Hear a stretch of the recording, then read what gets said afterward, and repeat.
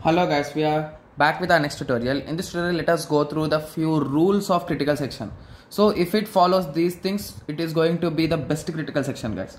So it should follow mutual exclusion. Mutual exclusion is nothing but to that critical section at a single moment of time only one process should access it only one process should execute the critical section at a time so this is nothing but the mutual exclusion guys you'll be uh, you'll be noticing these words really important guys. These are really important the words.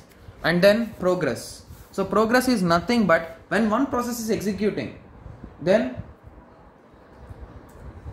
when one process is executing then the next process need to know which to be executed. So if p1 process is executing and there are p2 p3 p4 p5 like that there are many processes waiting. So once it is done which process should execute should also be known. So that is nothing but progress and then bounded wait so basically when we are discussing about processes we will be saying that waiting time starvation. So it is related to this. There is a limit on the number of times that other processes are allowed to enter into the critical section. So if a process is entering again and again so that's uh, indirectly that process is going to take a long time right?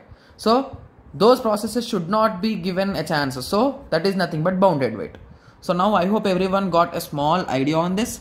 So even we are having a concept of semaphores guys to other than critical section. So along with critical section also we can use semaphores. so i hope everyone one got a small idea on this. So in the next tutorial we'll be going through semaphores. thank you. Thanks for watching